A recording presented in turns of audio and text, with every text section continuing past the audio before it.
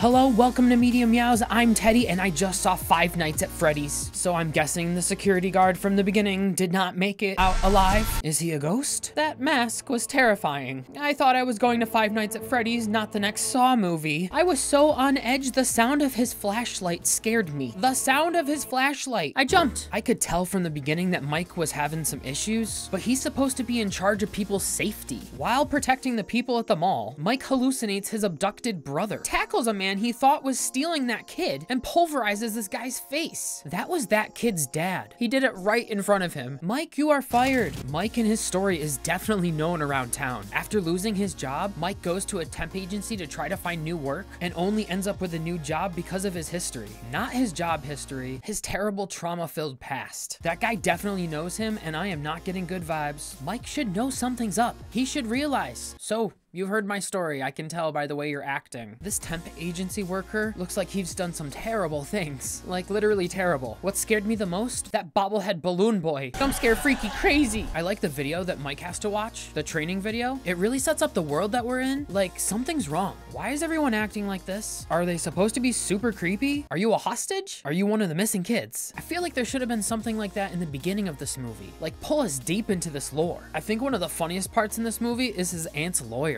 He's like, uh, I'm just figuring out that I shouldn't be hearing any of this. And I'm representing a crazy person. I gotta get out of here. Mike's pretty smart. He was already trying to find his brother and his brother's killer abductor by using his dreams, trying to access past memories to figure out what really happened. His new job is triggering even deeper lucid dreaming, and he's gonna do anything he can to control his dreams and figure it out. Who are these kids he's seeing and can they help? One of the scariest things, I tried to block this out, in his dream sequence, the kid with the black eyes? Creepy. How does this world work? Through Mike's lucid dreaming, he was attacked by these kids, they stabbed him, and his injury carried over into his waking life. Why isn't Mike suspicious of this cop? He didn't tell her a thing. Can't he see she's acting crazy? She definitely has more to do with this. Every time that bobblehead balloon boy's on screen, ah, so scary. Literally gets me every time. So Abby is psychic? She can communicate with the dead, know things she's not supposed to know, and access memories that aren't hers. How powerful is she? There has to be more possessed characters, more animatronics, and who's in Balloon Boy? And after the credits, who's that talking? I'm assuming Mike and Abby's aunt is dead, so they don't have to worry about the legal proceedings, but they do have to worry about the body in their living room. Maybe the missing brother is the bobblehead, but that would mean he's dead. Is the brother alive? We never figured that out. Since he wasn't one of those ghost children, he could still be alive. There were other animatronics in other rooms, but